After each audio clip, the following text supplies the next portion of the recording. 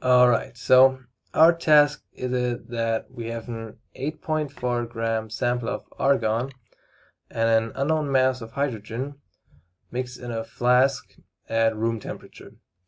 So we know that the partial pressure of argon is 330 torr and that of hydrogen is 430 torr. Uh, now we want to calculate the mass of hydrogen.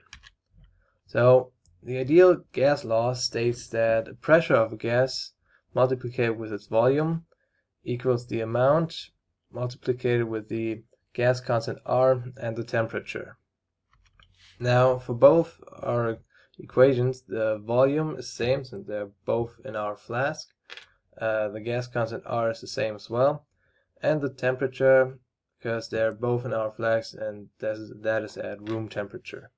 So we can put the two equations together and we'll see that the pressure of argon divided by the pressure of hydrogen equals the amount of argon divided by the amount of hydrogen.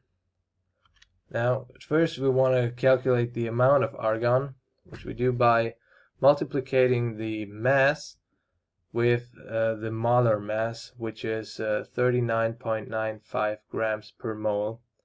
And we'll see that uh, argon has an amount of 0.21 mole in our flask.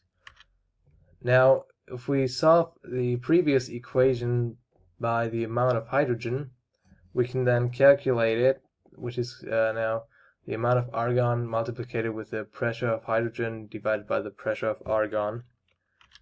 And we'll see that our, uh, hydrogen has an amount of 0.274 mole.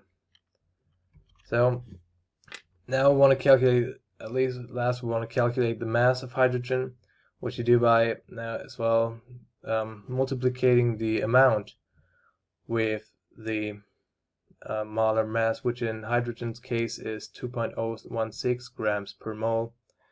And our final answer is that hydrogen in our flask has a mass of 0.552 gram.